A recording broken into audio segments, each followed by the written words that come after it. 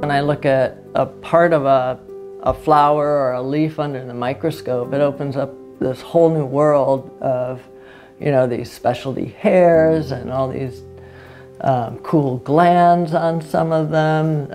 I'm Lesley Randall. I am a botanical artist and illustrator.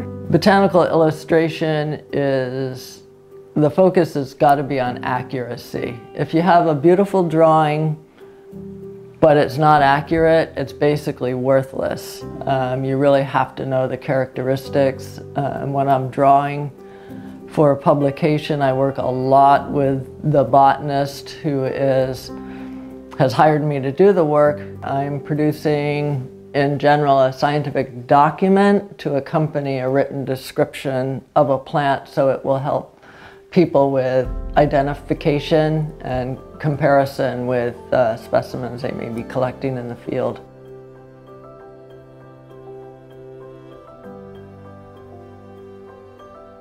Other than my work as an illustrator, I have a full-time job at the San Diego Zoo as a horticulture manager. My father is a botanist.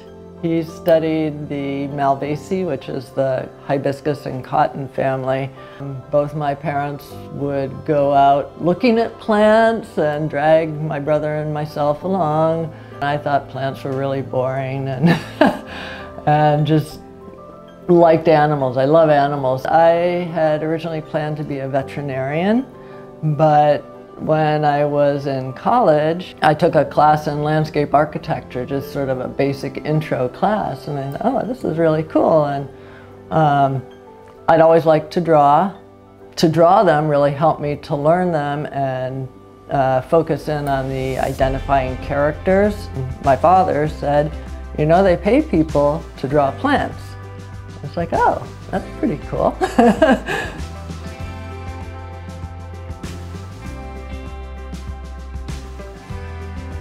I had an opportunity to work out at a botanical garden in Hawaii uh, as a summer intern and I kept drawing plants because I was trying to learn this whole new suite of plant species that I'd never seen before because they're all tropical. And uh, the director had me draw a couple of illustrations for their publication.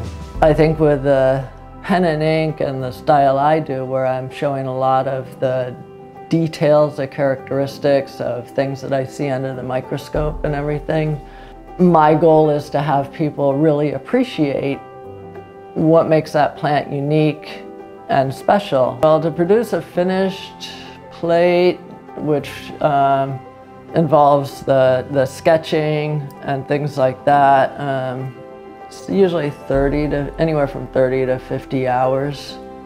That doesn't even include um, the research that you know I would put into it about reading about the plant.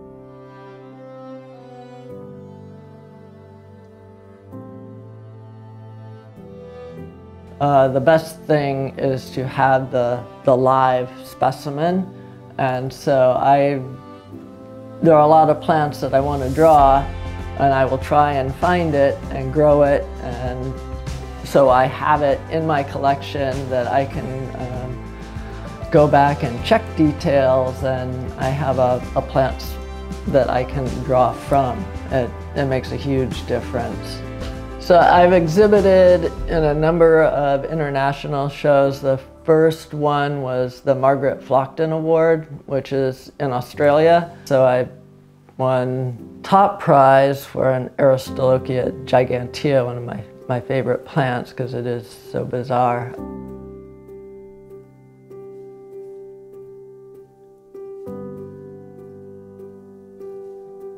The elegance of just plain pen and ink I've always been drawn to and you know I find that people often there's a lot of plant blindness where people don't stop to take the time to, to learn about plants. And I mean they're the reason everything else can exist